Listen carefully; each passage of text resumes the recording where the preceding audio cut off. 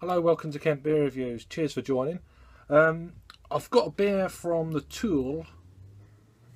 It's a Eurodancer American Pale Ale. It's coming in at 6.5% ABV. Um, To Øl are out of Denmark.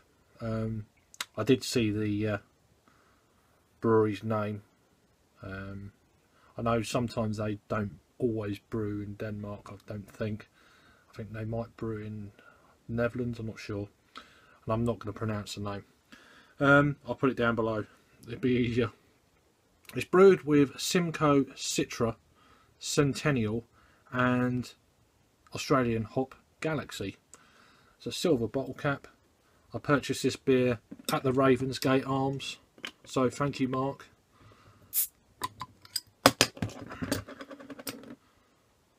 So, quite a big pale ale 6.5%.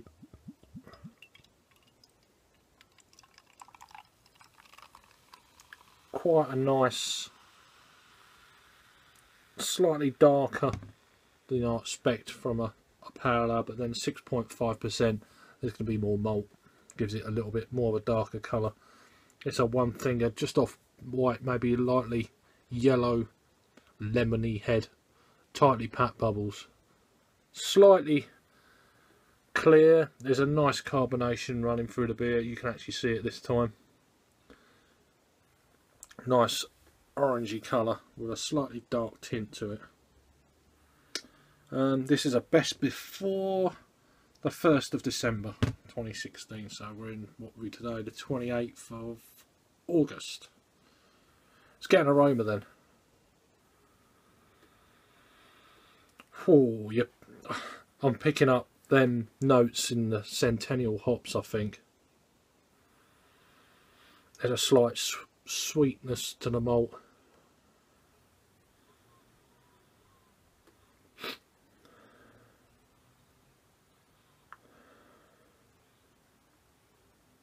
Mm, there's a slight breadiness to it, citriness.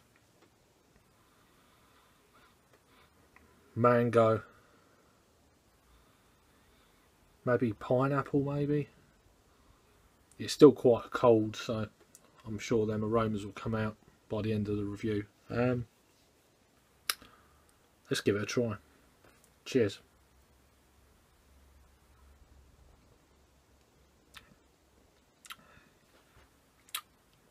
Oh, nice bready orange front end citriness. Gonna sneeze.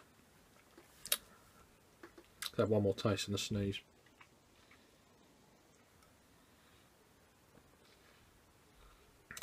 Mm. Slightly, there's a slightly biscuity quality, maybe some like kind of Hovis type biscuit.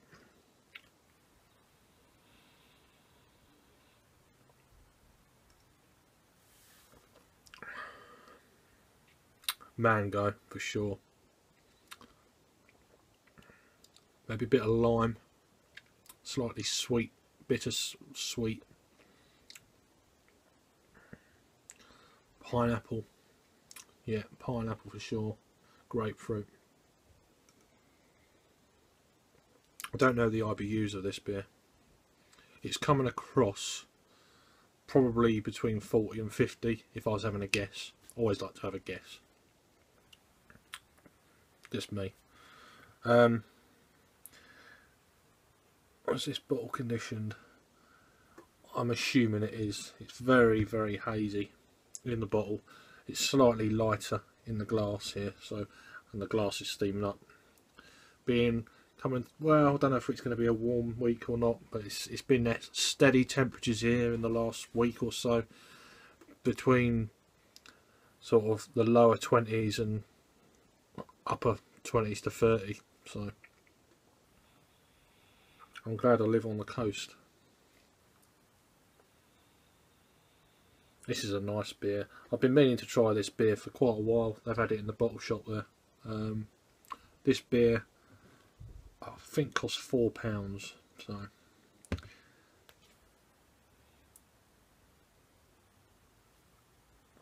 It's quite a complex beer.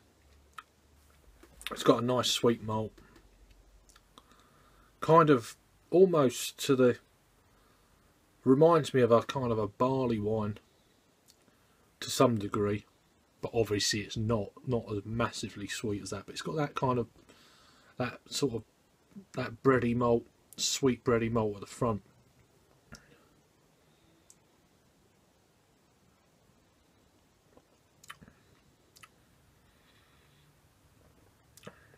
nice bitter back end.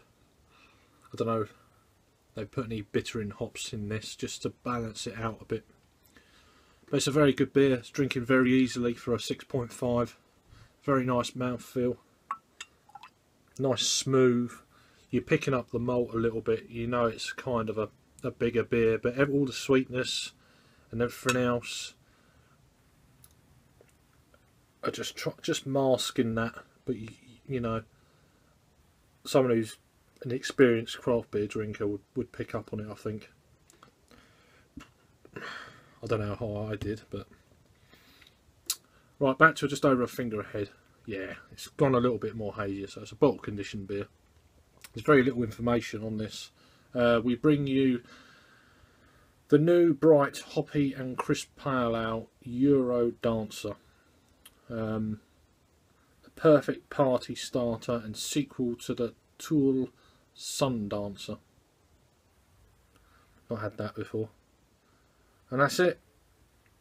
Uh, ingredient. Oh yeah, it's ingredients. Alright. Me trying to pronounce a word and then you can work out straight away what it is.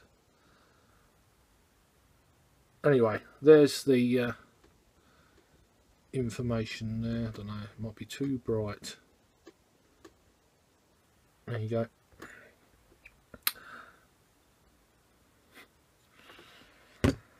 Not saying a word.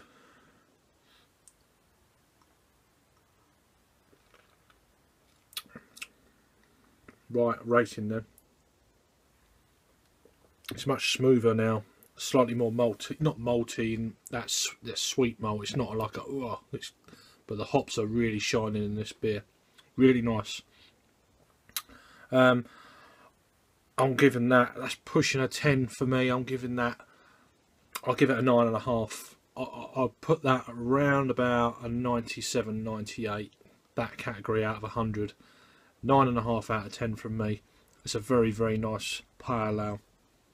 So you've had this beer from To Øl their Sun Sun Dancers the other one the Eurodancer American Pale Ale at 6.5%. Let us know what you think and I'll see you on your next review.